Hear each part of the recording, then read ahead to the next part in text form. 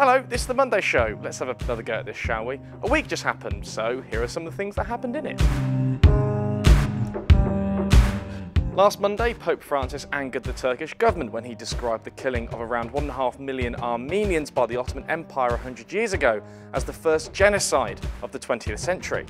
This is a hugely contentious issue for Turkey. They have always said that while crimes and deaths did occur, it wasn't a genocide, and the denial of what most historians agree was a planned genocide of Armenians is laced through the heart of not just Turkish history, but the very establishment of the country as we know it today. Even Turkish history textbooks describe Armenians as traitors, and that what happened was actually necessary in the fight against Armenian separatists, and not a genocide. Not acknowledging this dark piece of history was integral to establishing Mustafa Kemal Ataturk's vision for a modern Turkey on his way to becoming president in 1923. But having the man known as the father of the Turks linked so strongly to what historians agree was a genocide remains and may always remain a very delicate issue. Hillary Clinton officially hit the campaign trail on Tuesday in what many think could be the most expensive presidential campaign ever. This does slightly fly in the face of her position to reform campaign financing, which is a massive problem in politics generally, but particularly in the US, where the amount of time officials spend trying to get donations rather than actually governing has been called into question over the last few years, as have various scandals and conflicts of interest that have run throughout the US political system.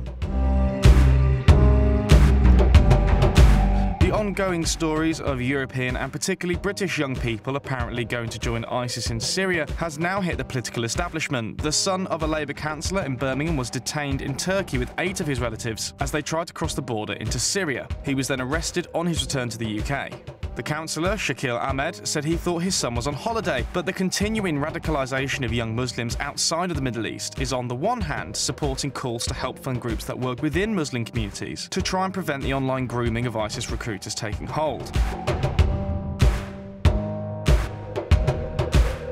However, it has also increased anti-Islamic sentiment, with the main parties choosing largely to ignore the issue rather than trying to dance around something complex and polarising this close to an election, which is sort of depressing in of itself.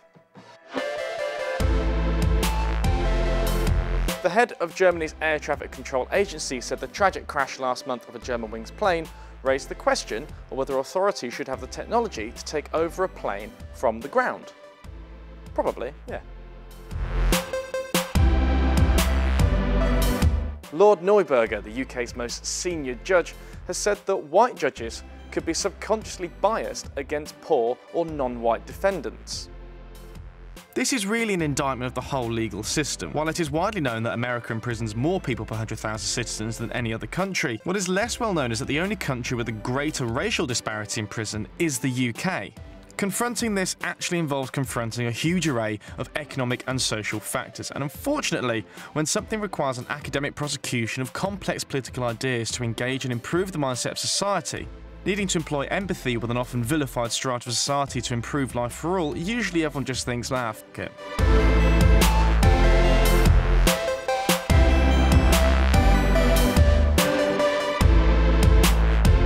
On Saturday, the Bloomberg trading system went down, including the one used by the UK government. So they had to postpone the planned sale of £3 billion worth of debt. That's right, selling debt. Here is some less than being a thing. Would you like to buy it? The economy. On Sunday, the second coming of Tony Blair was marred in more controversy, as his role as Middle East peace envoy was called into question. It was revealed he had signed a contract to help the Colombian government decide what to do with £2 billion worth of profits from mining deals. Blair's contract was actually being paid for by rich rulers from Abu Dhabi, who he'd got close to thanks to his position as Middle East peace envoy, a position he is now expected to resign. After a boat full of migrants capsized off the Italian coast yesterday, the death toll began to rise higher and higher, perhaps now nearing a thousand. It was thought to be caused by the migrants ignoring instructions to stay still as smugglers packed the boats to so many people that even slight movements could capsize the vessels. In Europe, governments are in talk with how to deal with the issue. There are many reasons people try and gain entry to Europe from Libya and other parts of Africa and the Middle East, but strong border policies often leave migrants in limbo or being deported back to countries they risked their lives to escape.